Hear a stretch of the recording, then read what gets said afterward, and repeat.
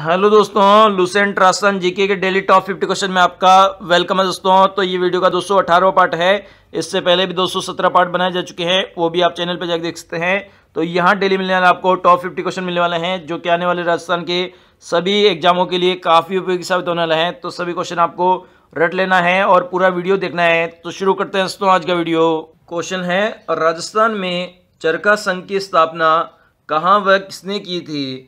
तो इसका correct answer है option number C, Jamnalal Bajaj ने की थी और जयपुर में की थी चरखा संघ की स्थापना। नेक्स्ट है, प्रजामंडल आंदोलन के समय राज्य के किस ज़िले में सलेटिया मैदान अस्तित्व था? तो इसका करेक्ट आंसर है ऑप्शन नंबर बी, उदयपुर ज़िले में था सलेटिया मैदान का अस्तित्व। नेक्स्ट है राजस्थान में, निम्न में से कौन कौन से तत्व प्रजामंडल के विकास में सहायक थे? तो इसका करेक्ट आंसर है option number D all are correct मतलब कृषक आंदोलन, समाचार पत्रों की भूमिका, आर्य समाज आंदोलन, ये तीनों ही तत्व प्रजामंडलों के विकास में सहायक थे। नेक्स्ट है निम्न में से कौन सा समाचार पत्र जाबरमल शर्मा द्वारा लिखित है? तो इसका करेक्ट आंसर है option number D A B व सी तीनों। मतलब मारवाड़ी बंधु, कलकत्ता समाचार, ज्ञानोदय, ये तीनों ही समाचार पत्र पंडित झाबरमल शर्मा द्वारा लिखित है। नेक्स्ट है, चेतावनी रा चुंगटिया किस महाराणा को चेतावनी देने के लिए लिखा गया था।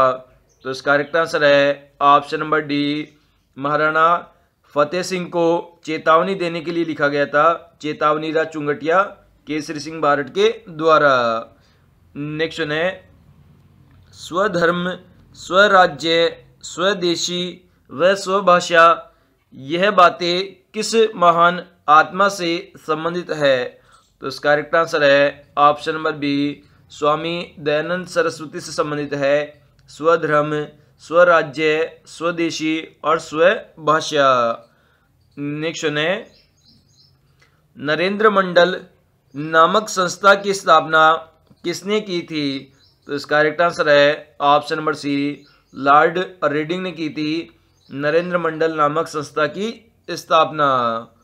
नेक्स्ट है कुशलगढ़ प्रजामंडल किस ज़िले से संबंधित है। तो इसका करेक्ट आंसर है ऑप्शन नंबर ई बांसवाड़ा ज़िले से संबंधित है। नेक्स्ट है, पूना, बाड़ा, कांड कब हुआ था? तो इसका करेक्ट आंसर है ऑप्शन नंबर ए मई उन्नीस में हुआ था, पूना, बाड़ा, कांड। नेक्स्ट है, बाघ सेवा मंदिर की स्थापना का श्रेय किसको है? तो इसका करेक्ट आंसर है option number D, Gaurishankar Upadhyay और भोगीलाल को है बाघ सेवा मंदिर की स्थापना का श्रेय।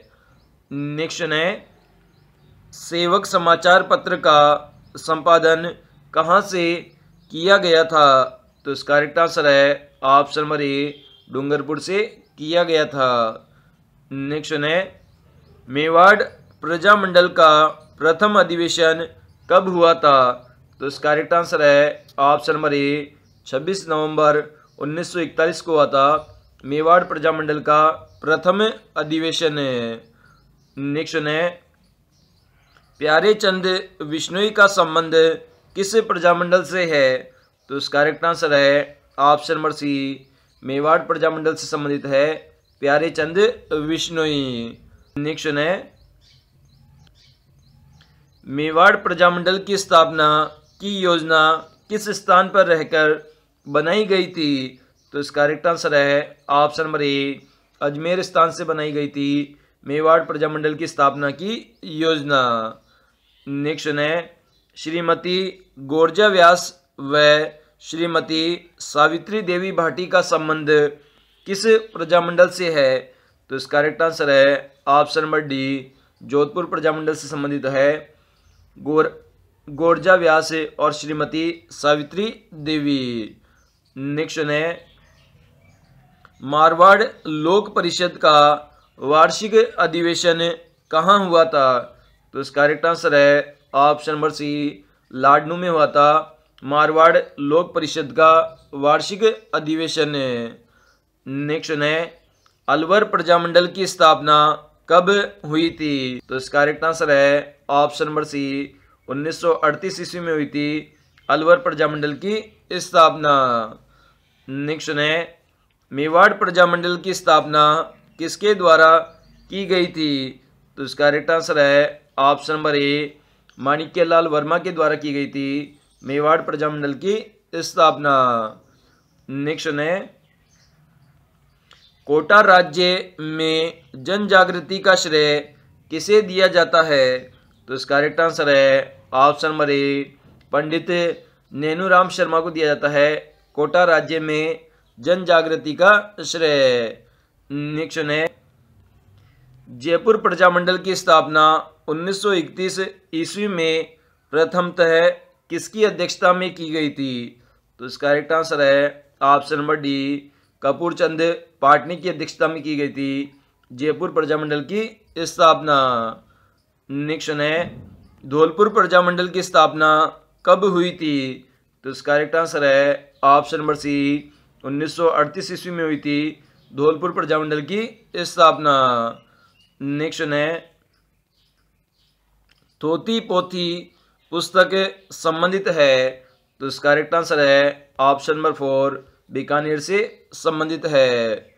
नेक्स्ट है, मारवाड़ हितकारिणी सभा को पुनर्जीवित किया गया था।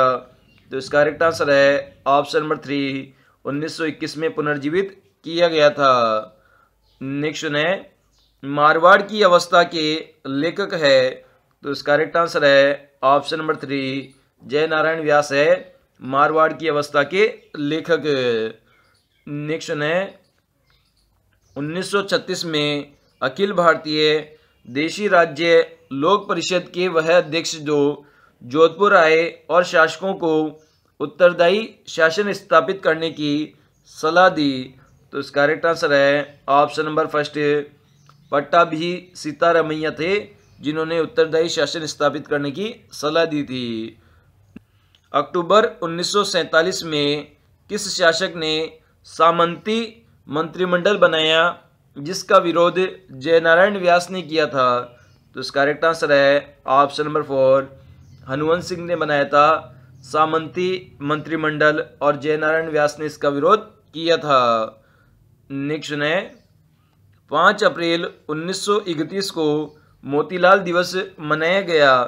तो इसका करेक्ट आंसर है ऑप्शन नंबर फोर, जयपुर में मनाया गया था मोतीलाल दिवस के रूप में पाँच अप्रैल 1931 को। नेक्स्ट है उन्नीस उन्नीस में जयपुर प्रजामंडल के अधिवेशन की अध्यक्षता की। तो इसका करेक्ट आंसर है option number three, Janaki Devi Bajaj ने की थी जयपुर प्रजामंडल के अधिवेशन की अध्यक्षता। नेक्स्ट है, भरतपुर में महिला सत्याग्रहियों का नेतृत्व किसने किया? तो इसका करेक्ट आंसर है option number first, Saraswati Bohra ने किया था महिला सत्याग्रहियों का नेतृत्व। नेक्स्ट है राजस्थान में परिणामी संप्रदाय किसके द्वारा चलाया गया था? तो इसका करेक्ट आंसर है option number B, Mahamati Prannath द्वारा चलाया गया था परिणामी संप्रदाय। नेक्स्ट है कबीर पंथी संप्रदाय के बारे में सत्य है तो इसका करेक्ट आंसर है ऑप्शन नंबर डी, उपरोक्त सभी कथन सही है। इसमें ऑप्शन नंबर ए है कबीर वाणी इस पंथ का मुख्य ग्रंथ है, बिल्कुल सही है। ऑप्शन नंबर बी है, इस पंथ को रामानंद के शिष्य कबीर ने चलाया था, बिल्कुल सही है। इस पंथ के साधु विवाह नहीं करते, बिल्कुल सही है। नेक्स्ट है, राजस्थान में सांप्रदायिक सद्भावना का आदर्श ख्वाजा मोहिनुद्दीन चिश्ती की दरगाह कहाँ पर है? तो इसका करेक्ट आंसर है, ऑप्शन नंबर ए, अजमेर में स्थित है। ख्वाजा मोहिनुद्दीन चिश्ती की दरगाह।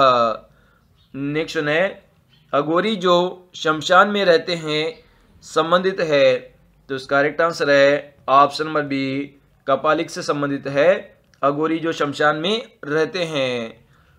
नेक्स्ट है, राजस्थान के किस ग्रंथ में लालदासी संप्रदाय के उपदेश है? तो इसका करेक्ट आंसर है ऑप्शन नंबर बी जो वाणी जो ग्रंथ है उसमें लालदासी संप्रदाय के उपदेश है। नेक्स्ट है राजस्थान में परिणामी संप्रदाय के उपदेश किसमें संकलित है?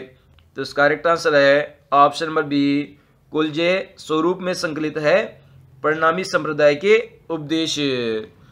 नेक्स्ट है राजस्थान में रामचरण जी महाराज का पूर्व नाम था। तो इसका करेक्ट आंसर है ऑप्शन नंबर बी रामकिशन था, रामचरण जी महाराज का पूर्व नाम। नेक्स्ट है राजस्थान में बाबा रामदेव के बारे में सत्य कथन है तो इसका करेक्ट आंसर है ऑप्शन नंबर डी उपरोक्त सभी कथन सही है। तो ऑप्शन नंबर ए है, वर्तमान में रुणेचा को ही रामदेवरा कहा जाता है, बिल्कुल सही है। ऑप्शन नंबर बी है, इनका जन्म बाड़मेर में हुआ था, बिल्कुल सही है। ऑप्शन नंबर सी है सामाजिक समरसता स्थापित करना बाबा रामदेव का मुख्य उद्देश्य था तो ये ऑप्शन भी सही है। नेक्स्ट है, राजस्थान में नोहर तहसील गंगानगर में कौन सा प्रसिद्ध मेला लगता है? तो इसका करेक्ट आंसर है option number D Goga ji का मेला लगता है नोहर तहसील गंगानगर में। नेक्स्ट है, राजस्थान में हाड़ौती क्षेत्र में अत्यंत उमंग व उत्साह से मनाया जाने वाला त्यौहार है। तो इसका करेक्ट आंसर है ऑप्शन नंबर बी दशहरा त्यौहार मनाया जाता है। नेक्स्ट है, राजस्थान में नीलकंठ महादेव मंदिर किस स्थान पर स्थित है? तो इसका करेक्ट आंसर है ऑप्शन नंबर ए भैंसरोगढ़ में स्थित है, नीलकंठ महादेव मंदिर। नेक्स्ट है, राजस्थान में भीलों का कुंभ मेला कहलाता है। तो इसका करेक्ट आंसर है option number C, Beneshwar. Shiv मेले को कहते हैं भीलों का कुंभ मेला। नेक्स्ट है, राजस्थान में परबसर नागौर का पशु मेला कहलाता है। तो इसका करेक्ट आंसर है ऑप्शन नंबर बी, तेजाजी पशु मेला कहलाता है, परबसर नागौर का पशु मेला। नेक्स्ट है, राजस्थान में रूनेचा के मेले की वह विशेषता जो सुखी समाज के लिए आवश्यक है। तो इसका करेक्ट आंसर है ऑप्शन नंबर बी, सांप्रदायिक सद्भावना है, जो कि सुखी समाज के लिए आवश्यक है। नेक्स्ट है, राजस्थान में सास बहू का मंदिर कहाँ स्थित है? तो इसका करेक्ट आंसर है ऑप्शन नंबर डी नागदा में स्थित है सास बहू का मंदिर। नेक्स्ट है राजस्थान में नृत्य नाटक सूरदास एवं किस पेशेवर जाति से संबंध रखते हैं? तो इसका करेक्ट आंसर है ऑप्शन नंबर ए सपेरा जाति से संबंध रखते हैं सूरदास और शंकरिया। नेक्स्ट है, राजस्थान में विदेशी पर्यटकों को सबसे अधिक आकर्षित करने वाला क्या लगता है? तो इसका करेक्ट आंसर है ऑप्शन नंबर सी पुष्कर लगता है, विदेशी पर्यटकों को सबसे अधिक आकर्षित करने वाला। नेक्स्ट है राजस्थान में सचिया माता का प्राचीन सूर्य स्थित है। तो इसका करेक्ट आंसर है ऑप्शन नंबर डी, ओसिया में स्थित है प्राचीन सूर्य मंदिर सचिया माता का। नेक्स्ट है राजस्थान में रणकपुर के मंदिर का निर्माता कौन था? तो इसका करेक्ट आंसर है option number B, Dhanna Seth था रणकपुर के जैन मंदिरों का निर्माता। नेक्स्ट है राजस्थान में घुघरे मेले का आयोजन आदिवासी किस माह में करते हैं? तो इसका करेक्ट आंसर है ऑप्शन नंबर सी, पोष माह में करते हैं आदिवासियों द्वारा घुघरे मेले का आयोजन।